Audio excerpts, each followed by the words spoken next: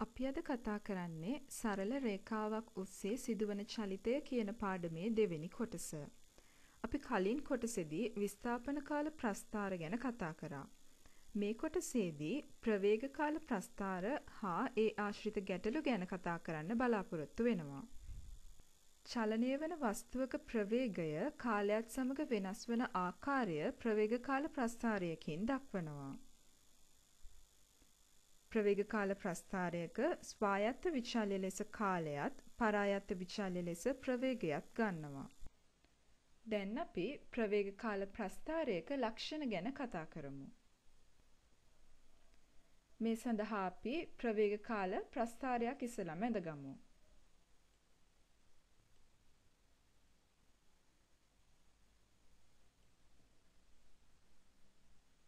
ප්‍රවේග කාල ප්‍රස්ථාරයකදී දෙන ලද t කාලයකදී ඊට අනුරූප ප්‍රවේගය හොයාගන්න පුළුවන්.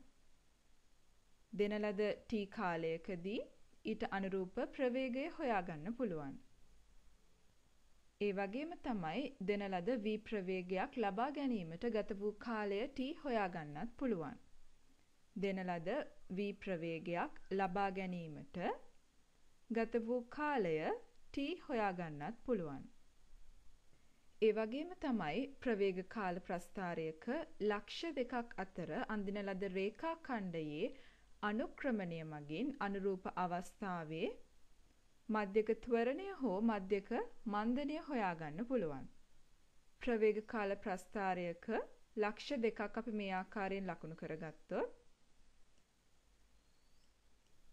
මේ ලක්ෂ දෙක යා කරන රේඛා ඛණ්ඩයේ අනුක්‍රමණය මගින් අපිට එම අවස්ථාවේ මධ්‍යක ත්වරණය හෝ මධ්‍යක මන්දනය හොයාගන්න පුළුවන්.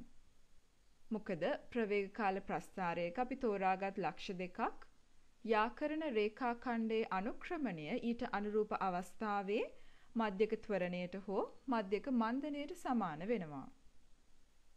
ඒ වගේම තමයි ප්‍රස්ථාරය සහ කාල අක්ෂය අතර වර්ගඵලය වස්තුවේ විස්ථාපනයට සමාන වෙනවා. ඒ කියන්නේ දැන් අපේ ප්‍රවේග කාල ප්‍රස්ථාරය තමයි අපි මේ රතු පාටින් දක්වලා තියෙන්නේ. එහෙනම් මේ ප්‍රස්ථාරය සහ කාල අක්ෂය අතර වර්ගඵලය වස්තුවේ විස්ථාපනයට සමාන වෙනවා. ඊළඟට අපි ප්‍රවේග කාල ප්‍රස්ථාරවල විවිධ අවස්ථා සඳහා අවධානය යොමු කරමු.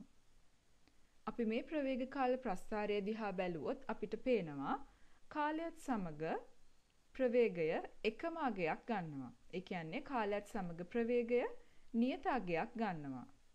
ඒ කියන්නේ මේ ප්‍රවේග කාල ප්‍රස්ථාරය මගින් නිරූපණය කරන්නේ ඒකාකාර ප්‍රවේගයක් යටතේ සිදුවන චලිතයක්. ඒ වගේම තමයි මේ චලිතයේ ත්වරණය බිඳුවයි. මොකද ඔගොල්ලෝ දන්නවා මධ්‍යක ත්වරණය කියන්නේ ප්‍රවේග වැඩිවීම බෙදීම කාලය. ඒ කියන්නේ ප්‍රවේග වැඩිවීම බෙදීම ඒ සඳහා ගත වූ කාලය. දැන් මේ ප්‍රස්ථාරයේ කාලයත් සමග ප්‍රවේගය නියතව පවතිනවා. ඒ කියන්නේ ප්‍රවේග වෙනසක් සිද්ධ වෙලා නැහැ. ඒ කියන්නේ මේ අවස්ථාවේදී මේ චලිතය සඳහා ත්වරණය බිඳුවයි. මෙය ඒකාකාර ප්‍රවේගයෙන් සිදුවන චලිතයක් නිරූපණය කරන ප්‍රවේග කාල ප්‍රස්ථාරයක්. ඊළඟට මෙම ප්‍රවේග කාල ප්‍රස්ථාරය සලකන්න. ඔගොල්ලෝ දන්නවා ප්‍රවේග කාල ප්‍රස්ථාරයක ලක්ෂ දෙකක් යා කරන රේඛා ඛණ්ඩයේ අනුක්‍රමණය මගින් ඊට අනුරූප කාල ප්‍රාන්තරය තුල එම චලිතයේ මධ්‍යක ත්වරණය හෝ මධ්‍යක මන්දනය හොයාගන්න පුළුවන්. ප්‍රවේග කාල ප්‍රස්ථාරයක ලක්ෂ දෙකක් යා කරන රේඛා ඛණ්ඩයේ අනුක්‍රමණය ඊට අනුරූප අවස්ථාවේ ඒ කියන්නේ ඒ අදාළ කාල ප්‍රාන්තරය තුල ඒ චලිතයේ මධ්‍යක ත්වරණයට හෝ මධ්‍යක මන්දනයට සමාන වෙනවා. එතකොට මේ ප්‍රස්ථාරය දිහා බැලුවොත් ඔයගලන්ට පේනවා කාලයත් සමග අනුක්‍රමණය නියතගයක් ගන්නවා. ඒ වගේම තමයි මේ ප්‍රස්ථාරයේ අනුක්‍රමණය ධන අනුක්‍රමණයක්. ඒ නිසා අපිට කියන්න පුළුවන් මෙම ප්‍රස්ථාරය මගින් නිරූපණය කරන්නේ ඒකාකාර ත්වරණයක් යටතේ සිදුවන චලිතයක් කියලා. මේ ප්‍රස්ථාරයේ කාලයත් සමග ප්‍රවේගය ක්‍රමයෙන් අඩු වෙනවා. ප්‍රස්ථාරය පුරාවටම නියත අනුක්‍රමණයක් තියෙනවා. නියත ඍණ අනුක්‍රමණයක් පවතින නිසා වස්තුව ඒකාකාර මන්දනයක් යටතේ චලනය වෙනවා කියලා කියන්න පුළුවන්. මේ ප්‍රස්ථාරයට අනුව ඔගලන්ට පේනවා කාලයත් සමග ප්‍රවේගය වැඩි වෙනවා. තවත් විදිහකින් කිව්වොත් ප්‍රස්ථාරය පුරාවටම ධන අනුක්‍රමණයක් පවතිනවා. මේ නිසා වස්තුව ත්වරණයක් යටතේ චලනය වෙනවා කියලා පැහැදිලියි. ප්‍රස්ථාරයේ අනුක්‍රමණය කාලයත් සමග ක්‍රමයෙන් වැඩි වෙන නිසා අපි කියනවා මේ වස්තුව වැඩිවන ත්වරණයක් යටතේ චලනය වෙනවා කියලා. ඊළඟට මේ ප්‍රස්ථාරය බලමු. මේකේ ප්‍රස්ථාරය පුරාවටම පවතින්නේ ධන අනුක්‍රමණයක්. ඒ නිසා වස්තුව ත්වරණයක් යටතේ චලනය වෙනවා කියලා පැහැදිලියි. ප්‍රස්ථාරයේ අනුක්‍රමණය කාලයත් සමග ක්‍රමයෙන් අඩු වෙනවා. ඒ කියන්නේ කාලයත් සමග ප්‍රවේගය වැඩිවීමේ ශීඝ්‍රතාවය අඩු වෙනවා. කාලයත් සමග ප්‍රවේගය වැඩිවීමේ ශීඝ්‍රතාවය අඩු වෙනවා කියන්නේ කාලයත් සමග ත්වරණය අඩු වෙනවා. එහෙනම් මේ ප්‍රවේග කාල ප්‍රස්ථාරය මගින් නිරූපණය කරන්නේ කාලයත් සමග ත්වරණය අඩු වෙමින් සිදුවන චලිතයක්. මෙතන ප්‍රස්ථාරය පුරාවටම පවතින ඍණානුක්‍රමණයක්. ඒ නිසා වස්තුව මන්දනයකින් යුතුව චලනය වෙන බව පැහැදිලියි. කාලයත් සමග ප්‍රස්ථාරයේ අනුක්‍රමණය ක්‍රමයෙන් අඩුවන නිසා වස්තුව කාලයත් සමග අඩුවන මන්දනයක් යටතේ චලනය වෙනවා කියලා කියන්න පුළුවන්. ඊළඟට මේ ප්‍රස්ථාරය දිහා බැලුවොත් මෙතන පවතින්නේ ප්‍රස්ථාරයේ පුරාවටම ඍණානුක්‍රමණයක්. ඒ වගේම කාලයත් සමග ප්‍රස්ථාරයේ අනුක්‍රමණය ක්‍රමයෙන් වැඩි වෙනවා. ඒ නිසා මෙම වස්තුව කාලයත් සමග වැඩිවන මන්දනයක් යටතේ චලනය වෙනවා කියලා කියන්න පුළුවන්. ඊළඟට අපි ප්‍රවේග කාල ප්‍රස්ථාර සම්බන්ධ ගැටලු කීපයක් බලමු. පළවෙනි උදාහරණය නිශ්චලතාවයෙන් ගමන් අරඹන වස්තුවක් තත්පරයට තත්පරයට මීටර් 4ක ඒකාකාර ත්වරණයකින් තත්පර 30ක කාලයක් චලනය වීමෙන් අනතුරුව ලබා ගන්නා ප්‍රවේගයද එම කාලය තුල වස්තුවේ විස්ථාපනයද හොයන්න ඕනේ. එතකොට අපි මේකට ඉස්සෙල්ලම ප්‍රවේග කාල ප්‍රස්ථාරයක් ඇඳ ගන්න ඕනේ. නිශ්චලතාවයෙන් ගමන් අරඹන වස්තුවක්. ඒ නිසා අපි මූල ලක්ෂයෙන් තමයි පටන් ගන්න ඕනේ. ඊළඟට මෙයාට තියෙනවා ඒකාකාර ත්වරණයක් තත්පරයට තත්පරයට මීටර් 4ක. ඒකාකාර ත්වරණයක් මේ ආකාරයෙන් තමයි අපි ලකුණු කරන්නේ. එයා තත්පර 30ක කාලයක් චලනය වෙනවා කියලා කියනවා. එහෙනම් කාලයේ අක්ෂය ඔස්සේ තත්පර 30ක් දක්වා රේඛාව මේ ආකාරයෙන් අඳින්න ඕනේ. අපි මේ රේඛාව OB කියලා නම් කරගමු. එතකොට තත්පර 30ක් අවසානයේදී මේ වස්තුව ලබාගෙන තියෙන ප්‍රවේගය අපි v කියලා ගමු. දැන් අපි මෙතෙන්දි මේ v හොයන්න ඕනේ. ඒ වගේම මේ වස්තුව චලනය වුණු විස්ථාපනය හොයන්න ඕනේ.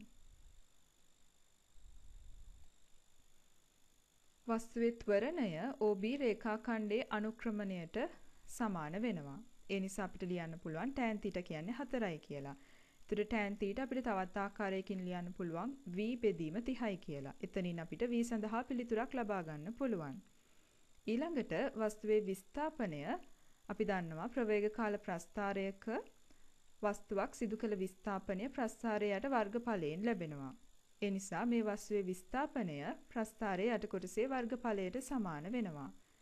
එහෙනම් අපිට ලියන්න පුළුවන් විස්ථාපනය කියන්නේ භාගයක් 30 වැඩි කිරීම v. මෙන්න මේ ත්‍රිකෝණයේ වර්ගඵලය තමයි වස්තුව සිදු කළ විස්ථාපනය වෙන්නේ. එතකොට අපි v දන්න නිසා අපිට විස්ථාපනය මේ ආකාරයෙන් හොයාගන්න පුළුවන්. අපි තව උදාහරණයකට යමු. වස්තුවක් තත්පර 5ක කාලයක් තුලදී මීටර් 30ක දුරක් ඒකාකාර ත්වරණයකින් ගමන් කරලා තත්පරයට මීටර් 10ක ප්‍රවේගයක් ලබා ගන්නවා. එහෙනම් ඒ වස්තුවේ ආරම්භක ප්‍රවේගයත් ත්වරණයත් හොයන්න ඕනේ. ඉස්සෙල්ලාම අපි මේ සඳහා ප්‍රවේග කාල ප්‍රස්ථාරයක් ඇඳගමු. මෙතන වස්තුවේ ආරම්භක ප්‍රවේගය අපි හොයන්න ඕනේ. ඒ නිසා අපි ආරම්භක අවස්ථාවේදී u කියන ප්‍රවේගයක් තියනවා කියලා සලකලා එතන ඉඳලා ප්‍රස්ථාරය අඳිමු. තත්පර 5ක් තුල මෙයා මීටර් 30ක් යනවා. එහෙනම් කාලය අක්ෂය ඔස්සේ තත්පර 5ක් අපි ලකුණු කරනවා. මේ අවසානයේදී තත්පරයට මීටර් 10ක ප්‍රවේගයක් ලබා ගන්නවා. ඒ නිසා ප්‍රවේග අක්ෂය ඔස්සේ 10 ලකුණු කරලා අපි මේ ආකාරයෙන් රේඛා ඛණ්ඩයක් අඳිනවා. මෙයා ඒකාකාර ත්වරණයක් යටතේ චලනය වෙන්නේ. නිසා මේ ආකාරයෙන් අපිට සරල රේඛාවක් මගින් එය නිරූපණය කරන්න පුළුවන්.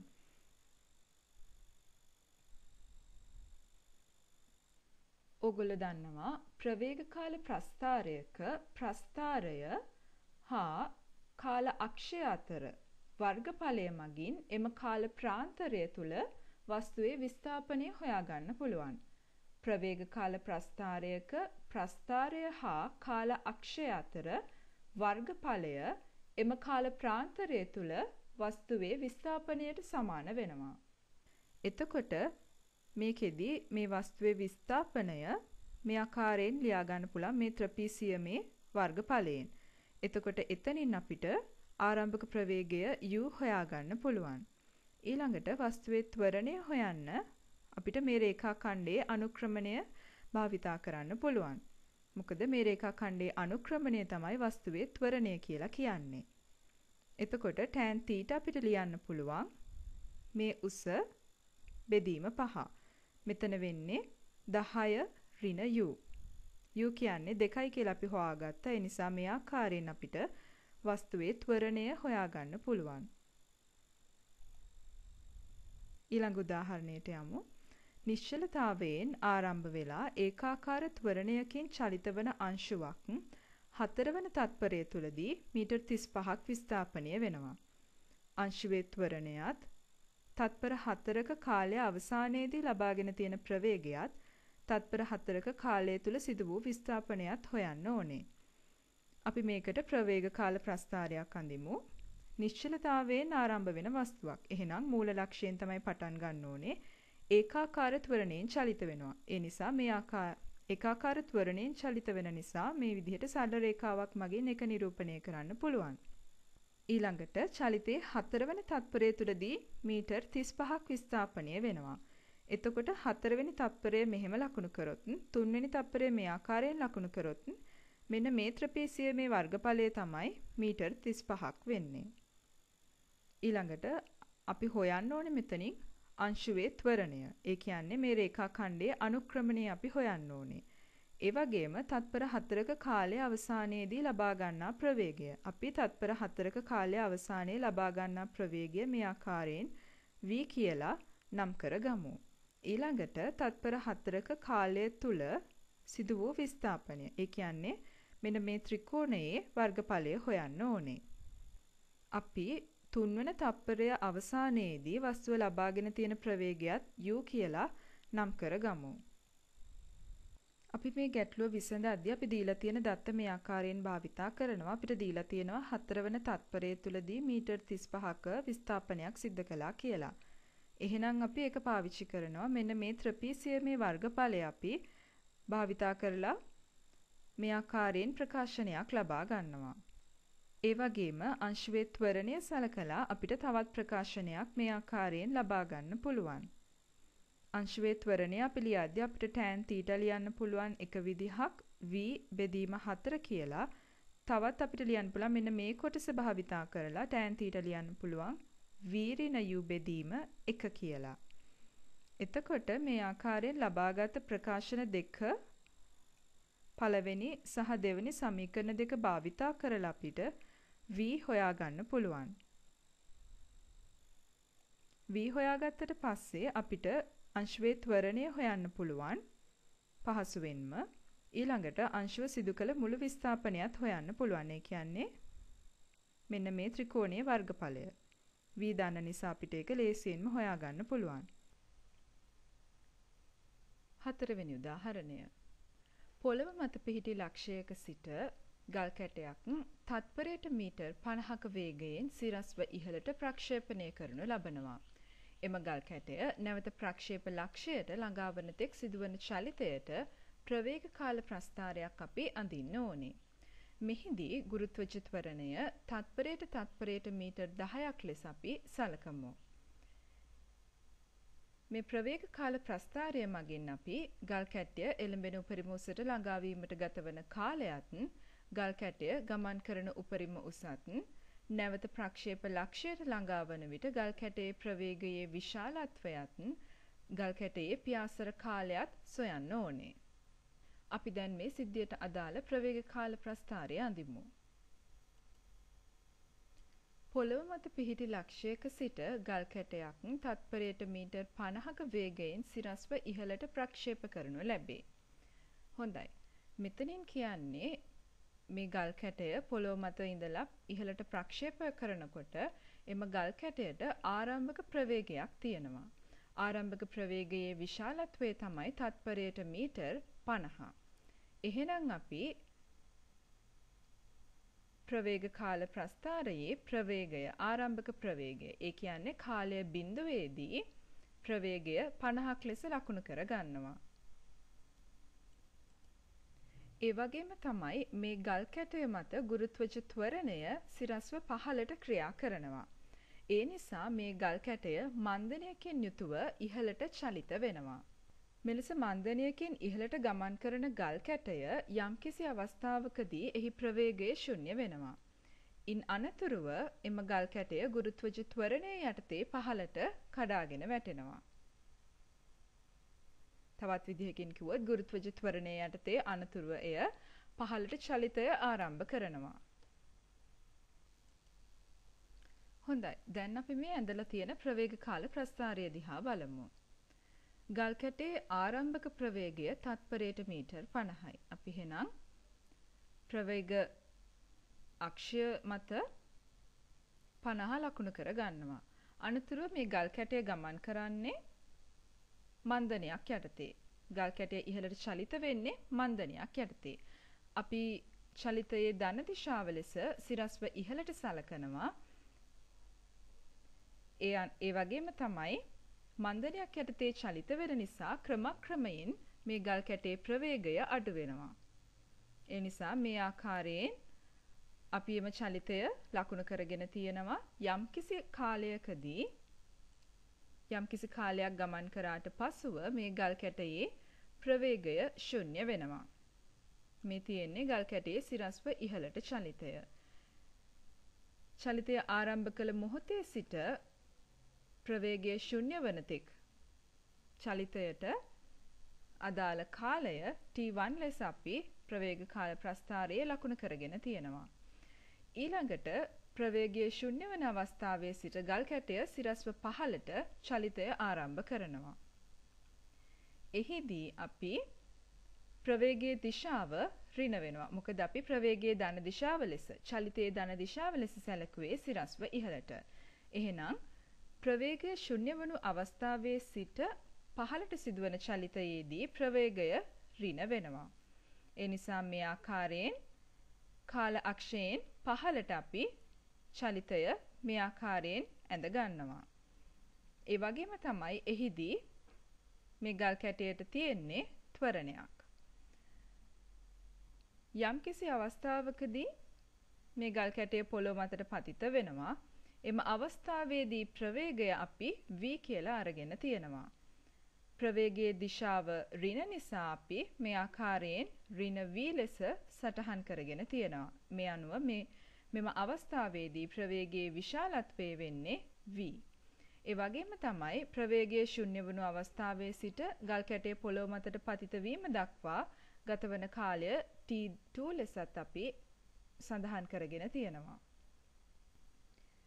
මේ අනුව ගල් කැටය උපරිම උසට ළඟා වන තෙක් ගතවන කාලය T1 ලෙසත් උපරිම උසේ සිට පොළොව මතට පතිත වීමට ගතවන කාලය T2 ලෙසත් සලකන්න පුළුවන්. ඊළඟට උපරිම උසට ළඟා වීමට ගතවන කාලය සෙවීම සඳහා අපිට මේ රේඛා ඛණ්ඩයේ අනුක්‍රමණය භාවිත කරන්න පුළුවන්. මේ රේඛා ඛණ්ඩයේ අනුක්‍රමණය වන්නේ tan theta. tan theta හි අගය අපිට 10යි කියලා ගන්න පුළුවන්. ඒකට හේතුව තමයි ප්‍රවේග කාල ප්‍රස්ථාරයක අනුක්‍රමණය මගින් අපිට ලැබෙන්නේ ත්වරණය. එතකොට අපි මේ ගැටලුව සඳහා ගුරුත්වජ ත්වරණය තත්පරයට තත්පරයට මීටර් 10ක් ලෙස සැලකුවා. ඒ නිසා මේ රේඛා ඛණ්ඩයේ අනුක්‍රමණය හෙවත් tan θ අපිට මේ අවස්ථාවේදී 10යි කියලා සලකන්න පුළුවන්. එතකොට tan θ මෙම කොටසට අදාළව අපි ගණනය කළොත් 50 බෙදීම t1. එතකොට 50 බෙදීම t1 සමානයි 10යි. එතනින් අපිට t1 හි අගය ලැබෙනවා තත්පර 5යි කියලා. ප්‍රස්ථාරය හා කාල අක්ෂය අතර වර්ගඵලය වස්තුවේ විස්ථාපනයට සමාන වෙනවා. ඒ නිසා ගල් කැටයේ ගමන් කරන උපරිම උස සෙවීම සඳහා අපි මෙන්න මේ වර්ගඵලය ගණනය කළ යුතුයි. මොකද වස්තුවේ උපරිම උස දක්වා චලිතය ගල් කැටයේ උපරිම උස දක්වා චලිතය නිරූපණය වන්නේ මෙන්න මේ ප්‍රස්ථාර කොටස මගින්.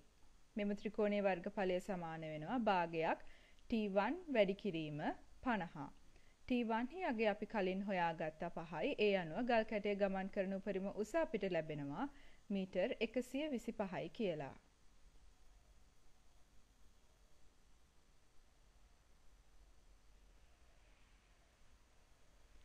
මීළඟට අපි ගල් කැටය නැවතත් ප්‍රක්ෂේප ලක්ෂයට ළඟා වන විට එහි ප්‍රවේගය සොයන්න ඕනේ.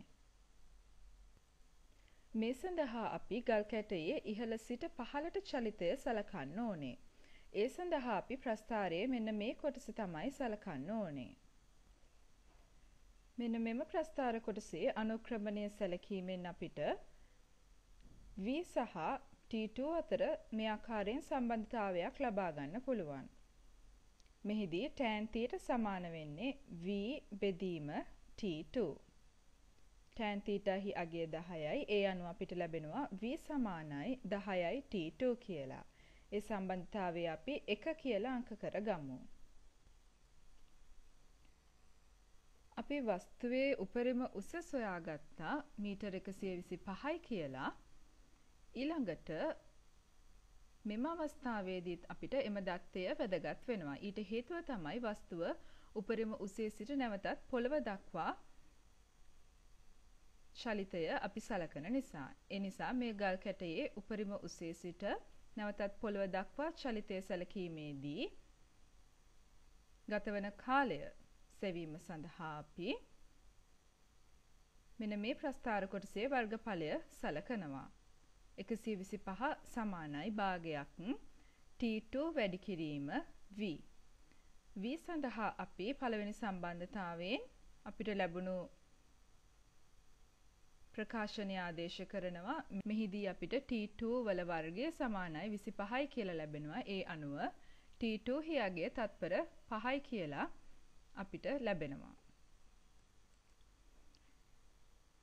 ඊළඟට ඒ අනුව අපිට ගල් කැටය නැවතත් පොළොවට පතිත වන විට ප්‍රවේගයේ විශාලත්වය ගණනය කරගන්න පුළුවන් පළවෙනි සම්බන්ධතාවය ඇසුරෙන් ඒ අනුව ගල් කැටය නැවතත් පොළොව මත පතිත වන විට එහි ප්‍රවේගය තත්පරයට මීටර් 50යි කියලා ලැබෙනවා. ගල් කැටේ පියාසර කාලය තමයි අපි ඊළඟට හොයන්න ඕනේ. පියාසර කාලය වෙන්නේ T1 ධන T2 ඒ අනුව ගල් කැටේ පියාසර කාලය තත්පර 10යි කියලා අපිට ගණනය කරගන්න පුළුවන්. ඊළඟට අපි අන්තිම උදාහරණයට යමු.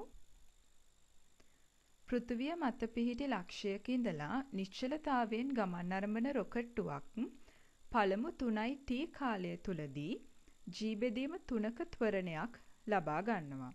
ඊළඟට 2යි t ඊළඟ 2යි t කාලය තුලදී g බෙදීම 2ක ත්වරණේනුත් ඊළඟ t කාලය තුලදී g ත්වරණේනුත් චලනය වෙලා එන්ජිම ක්‍රියා විරහිත කරනවා.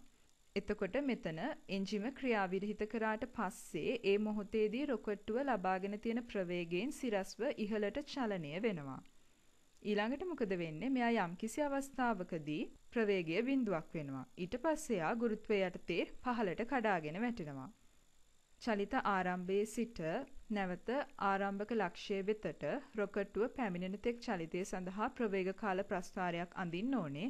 ඒක භාවිතා කරලා උපරිම උසට ළඟාවීමට රොකට්ටුවට ගතවන කාලයත් රොකට්ටුව යන උපරිම උසත් රොකට්ටුව නැවත ආරම්භක ලක්ෂයට ළඟාවන ප්‍රවේගයත් රොකට්ටුවේ චලිතයේ යෙදෙන මුළු කාලයත් හොයන්න ඕනේ.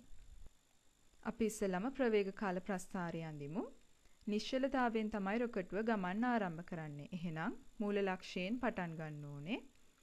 පළමු 3t කාලය තුලදී g බෙදීම තුනක ත්වරණයක් කින් තමයි මෙයා චලනය වෙන්නේ. එහෙනම් 3t කාලය තුල මෙයාට තියෙන ඒකාකාර ත්වරණයක්. එයා අපි g බෙදීම 3යි කියලා ලකුණු කරගමු. එතකොට මේ 3t කාලය තුල සිදු කළ විස්ථාපනය අපි S1 කියලා මේ ආකාරයෙන් සටහන් කරගමු. ඊළඟට ඊළඟ 2t කාලය තුලදී මෙයා g බෙදීම දෙකක ත්වරණයකින් චලනය වෙනවා. එතකොට ඒ අවස්ථාවේදී පළමු අවස්ථාවට වඩා ත්වරණය වැඩි ඒ නිසා අනුක්‍රමණය මේ ආකාරයෙන් පළමු අවස්ථාවට වඩා වැඩි අනුක්‍රමණයක් සහිතව තමයි රේඛාව අඳින්න ඕනේ. ඊළඟට ඊළඟ T කාලය තුලදී G ත්වරණයෙන් චලනය වෙනවා. එහෙනම් ඒක මේ ආකාරයෙන් ලකුණු කරනවා. කලින් අවස්ථාවට වඩා යාගේ ත්වරණය වැඩි ඒ නිසා වැඩි අනුක්‍රමණයක් සහිතව අඳිනවා. එතකොට මෙයා මෙතනින් නිශ්චල වෙනවා. එහෙනම් ඊට පස්සේ එයා මන්දනයකින් යුතුව සිරස්ව ඉහළට චලනය වෙනවා. චලනය වෙලා යම්කිසි අවස්ථාවකදී එයාගේ ප්‍රවේගය ශුන්‍ය වෙනවා. එතකොට රොකට්ටුවේ එන්ජිම ක්‍රියා විරහිත කරපු අවස්ථාවේ ඉඳලා ප්‍රවේගය ශුන්‍ය වන තෙක් ගතවන කාලය T1 කියලා ගමු. මන්දනයකින් යුතුව සිදුවන චලිතය මේ ආකාරයෙන් ලකුණු කර ගන්නවා. එතකොට මෙතනට එනකන් සිදු කරපු විස්ථාපනයන් පළමු 3t කාලය තුලදී සිදු කළ විස්ථාපනය S1 ලෙසත් දෙවන 2t කාලය තුලදී සිදු කරපු විස්ථාපනය S2 ලෙසත් තුන්වන t කාලය තුලදී සිදු කළ විස්ථාපනය S3 ලෙසත් ඊළඟ T1 කාලය තුලදී සිදු කළ විස්ථාපනය S4 ලෙසත් අපි මේ ආකාරයෙන් ලකුණු කරගමු. ඊට පස්සේ ප්‍රවේගය ශුන්‍ය වුණාට පස්සේ එයා ගුරුත්වය යටතේ පහළට කඩාගෙන වැටෙනවා. එතකොට පොළොව මතට එද්දී එයාට යම්කිසි v4 කියලා ප්‍රවේගයක් තියෙනවා. පොළොව මතට එන විට T2 කාලයක් එයා අරගෙන තියෙනවා. අපි මේ ආකාරයෙන් ලකුණු කරගමු. මෙතනත් ප්‍රවේගය කාල අක්ෂයෙන් පහළට ප්‍රස්ථාරය ලකුණු කරලා තියෙන්නේ ප්‍රවේගයේ දිශාව ප්‍රතිවිරුද්ධ වෙන නිසා. ඉස්සලම අපිට හොයන්න තියෙන්නේ උපරිම උසට ළඟා වීමට ගතවන කාලය. ඒක හොයන්න නම් අපි T1 දැනගෙන ඉන්න ඕනේ. T1 දැනගන්න අපිට මේ රේඛා ඛණ්ඩයේ අනුක්‍රමණය භාවිතා කරන්න පුළුවන්. එතෙන්දී අපි V3 දැනගෙන ඉන්න ඕනේ. ඒ නිසා අපිට මීට පහළ තියෙන V2 හා V1 දැනගන්න අවශ්‍ය වෙනවා. ඒ නිසා අපි මේ එක් එක් රේඛාඛණ්ඩයේ අනුක්‍රමණය භාවිතයෙන් V1, V2, V3 හොයාගමු. ඉස්සලම අපිට මේ රේඛාඛණ්ඩයේ අනුක්‍රමණය භාවිතයෙන් ලියන්න පුළුවන් G බෙදීම 2 G බෙදීම 3 සමාන වෙනවා V1 බෙදීම 3ක් T කියලා. ඊළඟට මෙතනින් ලියන්න පුළුවන් G බෙදීම 2 සමාන වෙනවා V2 ඍණ V1 බෙදීම දෙකක් t කියලා. ඊළඟට මේ අනුක්‍රමණය භාවිතයෙන් ලියන්න පුළුවන් g සමාන වෙනවා V3 ඍණ V2 බෙදීම t කියලා. එතකොට මේ තුන පාවිච්චි කරලා අපිට V1, V2, V3 මේ ආකාරයෙන් හොයාගන්න පුළුවන්. ඊට පස්සේ දැන් අපි V3 දන්න නිසා මෙන්න මේ රේඛා ඛණ්ඩයේ අනුක්‍රමණය භාවිතා කරලා අපිට ලියන්න පුළුවන් T1 හොයාගන්න පුළුවන්. මොකද මේ රේඛා ඛණ්ඩයේ අනුක්‍රමණය G G සමාන වෙනවා V3 බෙදීම T1ට. එතකොට V3 දන්න නිසා අපිට T1 හොයාගන්න පුළුවන්. එතනින් අපිට උපරිම උසට යාමට රොකට්ටුවට ගත වෙන කාලය හොයන්න පුළුවන්. 3යි ධන 2t ධන t ධන t1 t1 හොයාගත්තා 3t කියලා. එතකොට 9ක් t. තත්පර 9ක් t කියලා අපිට කාලය ලැබෙනවා. ඊළඟට වස්තුව ගමන් කරන උපරිම උස හොයන්න ඕනේ. ඒ කියන්නේ ප්‍රවේගය ශුන්‍ය වන තෙක් ගමන් කරන විස්ථාපනය S1, S2, S3 හා S4 වල එකතුව තමයි ඒකට එන්නේ. එතකොට අපිට පුළුවන් මේ එක් එක් ප්‍රස්ථාරයට වර්ගඵල මගින් ඒවා ලබා ගන්න. එතකොට S1 ලබා ගන්න පුළුවන් මේ ත්‍රිකෝණයේ වර්ගඵලය මගින් S2 ලබා ගන්න පුළුවන් මේ ත්‍රපීසියමේ වර්ගඵලය මගින් S3 ලබා ගන්න පුළුවන් මෙන්න මේ ත්‍රපීසියමේ වර්ගඵලයෙන් S4 ලබා ගන්න පුළුවන් මේ ත්‍රිකෝණයේ වර්ගඵලයෙන්. අපි V1, V2, V3 දන්න නිසා අපිට ඒ විස්ථාපනයන් මේ ආකාරයෙන් පහසුවෙන් ලබා ගන්න පුළුවන්. එතකොට රොකට්ටුව ගමන් කරන උපරිම උස මේ ආකාරයෙන් අපිට හොයාගන්න පුළුවන්.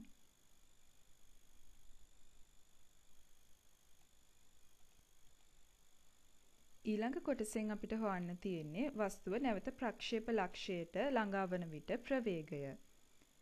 එතකොට ඒ සඳහා අපිට මෙන්න මේ කොටසේ අනුක්‍රමණය භාවිතා කරන්න පුළුවන්. g සමාන වෙනවා v4 බෙදීම t2. එතකොට එතනින් v4 හොයාගන්න නම් අපි t2 දැනගන්න ඕනේ. මෙන්න මේ t2 දැනගන්න අපිට මේ ත්‍රිකෝණයේ වර්ගඵලය භාවිතා කරන්න පුළුවන්. වස්තුව ගමන් කරන උපරිම උස මෙන්න මේ ත්‍රිකෝණයේ වර්ගඵලයටත් සමාන වෙනවා. මොකද වස්තුව නිශ්චල සිරස්ව ඉහළට චලනය වෙලා යම්කිසි අවස්ථාවකදී මෙන්න මේ අවස්ථාවේදී නිශ්චලතාවයට පත් වුණාට පස්සේ එයා එම දුරම නැවතත් පහළට චලනය වෙනවා. ඒ නිසා වස්තුවේ උපරිම උස මෙන්න මේ ත්‍රිකෝණයේ වර්ගඵලයට සමාන වෙනවා. එතකොට එතනින් අපිට T2 හොයාගන්න පුළුවන්. T2 හොයාගත්තට පස්සේ ඒක මේ පළවෙනි සමීකරණයට ආදේශ කරලා අපිට V4 හොයාගන්න පුළුවන්. ඊළඟට රොකට්ටුවේ පියාසර කාලය කියන්නේ රොකට්ටුව චලිතය ආරම්භ කරපු මොහොතේ ඉඳලා නැවත පොළොව මතට පතිත වන තෙක් ගත වූ කාලය. එතකොට උපරිම උසට ගත වෙච්ච උපරිම උසට යන්න ගත වෙච්ච කාලය අපි හොයාගත්තා 9ක් t කියලා. T2 අපි මෙතනදී හොයාගත්තා. ඒ නිසා රොකට්ටුවේ පියාසර කාලය මේ ආකාරයෙන් අපිට ලියා ගන්න පුළුවන්.